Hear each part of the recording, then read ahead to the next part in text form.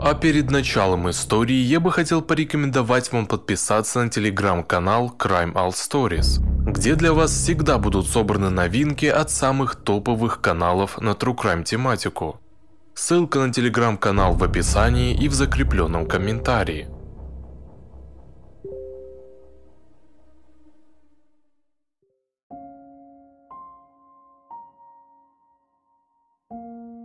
Может ли совершенно нормальный человек стать безжалостным убийцей? К сожалению, ответ положительный, хотя это не всегда так. Большинство так называемых серийных убийц имеют в своем детстве физическое, психологическое или сексуальное насилие, которое часто приводит к тому, что они погружаются в мир жестоких фантазий, которые со временем развиваются, пока однажды не начинают воплощать их в реальность. По мнению аргентинского психолога Беатрис Джаминг, когда ребенок растет в агрессивной среде, ему трудно отделить себя от окружающей обстановки. Насилие всегда остается для него недифференцированным внутренним и внешним фактором. Джема Виктория Лили может быть хорошим примером этого. Она выросла в городе Стамфорд в графстве Линкольншир, Англия, и была дочерью Ричарда Лили и его жены. В возрасте 6 лет ей был поставлен диагноз дислексия, и она находилась в аутистическом спектре – Джема была милым и умным ребенком с хорошей успеваемостью в школе и явными склонностями к искусству. Однако все начало меняться в ее жизни, когда ее мать пережила психическое расстройство. Она присоединилась к экстремальной религиозной секте и начала плохо общаться с Джемой и ее братьями и сестрами, которые в свою очередь стали жертвами физического и психологического насилия. Например, их запирали на несколько дней в комнате, лишая еды и внимания. Ричард пытался бороться с ситуацией в течение двух лет, но в конце концов он разошелся с матерью своих детей и взял над ними опекунство. Некоторое время спустя он снова женился и прошло немного времени, прежде чем Джема начала проявлять склонность к насилию. В возрасте 15 лет она начала писать рассказ под названием «Игровая зона», главным героем которого был серийный убийца по имени Сос, который вместе со своими помощниками-червями пытал и убивал своих жертв просто ради удовольствия. Она даже опубликовала свою историю в интернете под псевдонимом Синдемон – Хотя это и не было ему по вкусу, ее отец Ричард поощрял ее продолжать писать, поскольку считал, что это всего лишь работа творческого ума. Но Сос становился чем-то большим, чем вымышленный персонаж. Джема начала отождествлять себя с этим именем в реальной жизни. И ее отец рассказывал, что когда девочка сердилась, она говорила «Сос выходит наружу». Но дело было не только в этом, а в том, что с некоторых пор Джема была поклонницей фильмов ужасов. Ее любимым фильмом был «Кошмар на улице Вязов», а его звезда Фредди Крюгер был для девушки настоящим героем. В 2010 году в возрасте 18 лет Джема решила уехать в Австралию. Ее отец Ричард попросил поддержки у старого друга, жившего в этой стране, Роланда Хулка который познакомился с девушкой в Англии и с радостью согласился помочь ей обосноваться в Австралии. Роланд принял ее в своем доме, но спустя некоторое время сказал, что девушка была не такой, какой он ее знал. Ее жизнерадостность исчезла, и она действительно была странной. Джема больше не была веселой и милой девушкой, она одевалась в темные цвета, а на ее теле начали появляться татуировки. На самом деле Джема устроилась работать в тату-салон, а ночью работала кладовщиком в супермаркете. Она вскоре купила свой первый мотоцикл, а позже начала собирать коллекцию ножей. У нее заканчивалась виза на пребывание в Австралии, и она хотела остаться в этой стране, а для этого ей нужно было получить постоянное место жительства – Друг Гордон Гелбрейт, который жил с ее сестрой, предложил ей свою помощь, женившись на ней. Ричард приехал в Австралию на свадьбу своей дочери, которая была совсем нетрадиционной. Свадебное платье Джемы было копией костюма убийцы из сериала «Декстер», а Ричард по просьбе дочери надел костюм Фредди Крюгера. И вскоре девушка начала называть своего ненастоящего мужа Уэйн, так как, по ее словам, он был похож на американского серийного убийцу Джона Уэйна Гейси. Некоторое время спустя Гордон погиб в автокатастрофе, и Роланд помог Джемме купить и отремонтировать дом. И в тот момент ее жизнь приобрела новый смысл. В списке ее желаний была мечта, которую она должна была исполнить до 25 лет. Это лишить кого-нибудь жизни. Согласно тому, что она рассказала подруге, это было желание, которое становилось неконтролируемым. Подруга сказала ей, что убить человека трудно, на что девушка ответила, что нет, это не трудно сделать. Через друга своего бывшего мужа Джема, который на тот момент было 24 года, познакомилась с Труди Леннон. Женщина была старше ее почти на 20 лет и имела троих детей. И несмотря на это, они обнаружили, что у них много общего. Труди была погружена в мир серию эротических практик доминирования и подчинения – где она играла роль покорной под псевдонимом Карвина. Вскоре женщина вместе с детьми переехала в дом Джемы, который не крестили улицей Вязов. И в разговорах между собой они использовали свои прозвища Сос и Карвина. Джема нашла в труде послушного и верного спутника, чтобы воплотить в жизнь самый важный пункт в списке ее желаний лишить кого-нибудь жизни до 25 лет. И к концу мая 2016 года они обе были готовы и полны решимости это сделать. В последующие дни они совершили несколько визитов в магазины, чтобы купить инструменты, которые, по мнению Джемы, могли понадобиться. Циркулярную пилу, ацетон, отбеливатель, бочку и 100 литров соляной кислоты – они даже проверяли эффективность кислоты на куске мяса. Не хватало только жертвы, и здесь услужливая Труди сыграла свою главную роль. Она знала идеальную жертву 18-летнего Аарона Паджича, друга одного из ее сыновей. Молодой человек жил на одной улице с Труди Леннон в течение 8 лет, Хотя другие источники утверждают, что сын Труди и Аарон вместе учились в профессиональном училище. У парня был синдром Аспергера, из-за которого ему было трудно понимать мотивы и настроения окружающих, что затрудняло его дружбу. Но он был одарен особыми способностями к работе с компьютером. Когда все было готово, Джема не могла больше ждать и написала Труди сообщение, в котором говорилось «Я чувствую, что не смогу успокоиться, пока кровь или плоть кричащей жертвы не хлынет и не растечется по земле, пока все дороги и улицы не окрасятся кровью». На что Труди ответила «Определенно пришло время, я готова, ты готова». В понедельник, 13 июня 2016 года, Аарон завтракал с Адриан Рид, женщиной, с которой он познакомился в церкви и в доме которого он жил некоторое время, когда у него зазвонил телефон. Это была Труди, которая приглашала его помочь ей с работой на компьютере, за что она ему заплатит.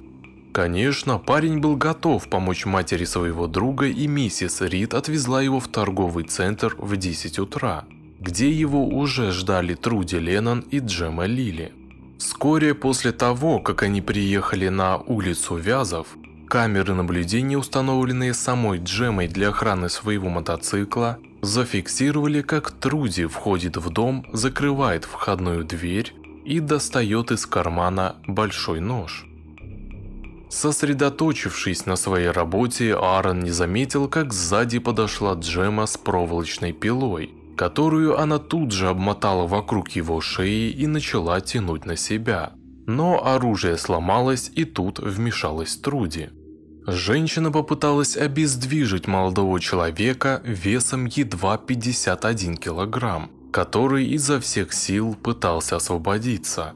Но Джема быстро выхватила нож и напала на Аарона, нанеся ему три удара в грудь и шею, тем самым оборвав его жизнь. По неизвестной причине женщины отказались от своего плана избавиться от трупа с помощью соляной кислоты, и вместо этого перенесли тело в комнату, которую они очевидно подготовили для пыток, покрытую пластиковым брезентом. Затем они вырыли неглубокую яму на заднем дворе, куда положили завернутую в простыню тело Аарона, накрыли его синим брезентом и, наконец, положили поверх него плитку. После чего привели в порядок место преступления, для чего, очевидно, пришлось вырезать целый участок обильно залитого кровью ковра. Когда на следующий день Аарон не вернулся домой, а миссис Рид не могла найти его в местах, которые он часто посещал или связаться с ним по телефону, женщина обратилась к властям, чтобы заявить о его пропаже. То время как Джема была в эйфории после исполнения своей долгожданной мечты и отправила Труди сообщение, в котором говорилось следующее – я вижу то, что никогда раньше не видела, и чувствую то, чего никогда раньше не чувствовала. На что Труди ответила просто «Не за что, сос». Но ничто не могло успокоить волнение Джемы, и она не могла не похвастаться коллеге в супермаркете, что наконец-то достигла своей мечты. А когда он спросил ее, что она имеет в виду, она взволнованно рассказала ему обо всем, что сделала. Мужчина, выслушав ее признание, обратился в полицию. Тем временем власти уже обратились к общественности за помощью в поиске молодого человека. Они запросили и проверили записи телефонных разговоров Аарона и обнаружили последний звонок, сделанный с телефона Труди, который привел их к адресу регистрации женщины. Это было началом конца счастья Джемы. Полиция проверила камеры наблюдения в доме и само жилище, и вскоре обнаружила странную комнату, обшитую брезентом. Джема спокойно отвечала, что ничего не знает о судьбе пропавшего молодого человека, и была настолько уверена в успехе своих действий и превосходстве над полицией, что сама показала им двор, где плитка была положена на труп Аарона. 20 июня, имея на руках постановление суда и необходимое оборудование, следователи прибыли в дом женщины и, сняв недавно уложенную плитку, обнаружили останки парня. Как позже установил судмедэксперт, ножевые ранения, нанесенные джемой, пробили печень, легкое и яремную вену несчастного Аарона. На его шее остались следы от неудачной попытки удушения, а на руках и кистях было несколько защитных ран. Джема Лили и Труди Леннон были арестованы, и через два дня им были предъявлены обвинения в убийстве. После ареста каждая из женщин пыталась спасти свою шкуру. Труди утверждала, что она не участвовала в убийстве, но была свидетелем и помогала спрятать тело. А Джема была более категорична, заявив, что ее даже не было на месте преступления, что в последний раз она видела Аарона, когда он сидел за компьютером, а затем она ушла в свою комнату и спала до следующего утра. Однако позже девушка признала, что помогла закопать тело. Об их разговоре в сети, оружии и других вещах, найденных в доме, Женщины утверждали, что все это было связано со сценами, которые Джема собиралась описать в своей книге. Судебный процесс против Джемы Лили и Труди Леннон состоялся в октябре 2017 года в Верховном суде Западной Австралии, где обвиняемые признали себя невиновными. Но в течение трех недель совокупность представленных доказательств была убедительной.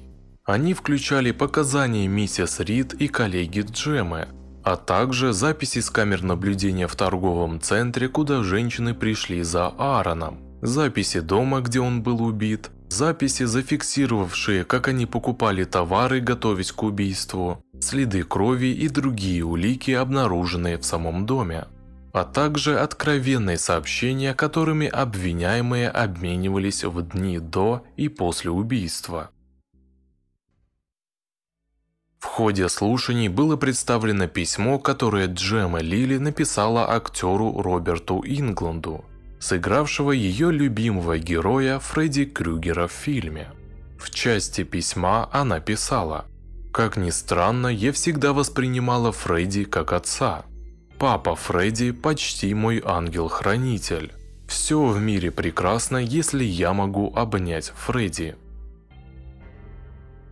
После трех недель слушаний присяжным потребовалось менее трех часов, чтобы признать Джему Лили и Труди Леннон виновными в убийстве молодого Аарона. Вердикт судьи был вынесен 28 февраля 2018 года, и обе были приговорены к пожизненному заключению с возможностью условно-досрочного освобождения через 28 лет. Во время вынесения приговора судья Стивен Холл назвал это убийство отвратительным с моральной точки зрения и отметил, что обе несут равную ответственность. Нет никаких сомнений в том, что вы обе намеревались убить мистера Паджича. Ничто не указывает на то, что кто-то из вас испытывал хоть малейшее угрызение совести за содеянное. Мать Аарона заявила после слушания, что обе женщины – отвратительные животные, которых ни в коем случае нельзя выпускать на свободу. По словам психолога Брэда Джонса, полиции удалось поймать тех, кто, несомненно, стал бы парой серийных убийц. Джема Лили не сдавалась и в апреле 2019 года обжаловала свой приговор, но апелляция была отклонена в октябре того же года. Через пару месяцев после суда женщины снова оказались в новостях. В случае с Джемой стало известно, что она начала любовную связь с другим заключенным по имени Мелан Этвуд, еще одним осужденным убийцей. Когда об этом стало известно, их развели по разным тюрьмам. Тем временем 1 января 2018 года Труди Лена находилась в тюрьме в очереди на получение лекарств когда другая осужденная по имени Форест вылила на спину женщины 2 литра кипятка, причинив тем самым ожоги третьей степени на 21% ее тела. Перед повторным судом Форест признала себя виновной, заявив, что действовала из злости на преступление Труди. Это событие вызвало реакцию Дэнни Грина, бывшего чемпиона мира по боксу и активиста борьбы с насилием, который в социальной сети приветствовал нападение на Труди Леннон, заявив «Я снимаю шляпу перед тем, кто совершил этот поступок. Я устал от нашей гнилой конституции, которая навязывает закон в руки общества. Этот бедный молодой человек закончил свою жизнь просто непостижимым образом». Что вы думаете об этой истории? Пишите ваше мнение в комментариях, а также подписывайтесь на мой YouTube канал и на другие социальные сети. Ссылки на них есть в описании и в закрепленном комментарии под видео. Не прощаемся.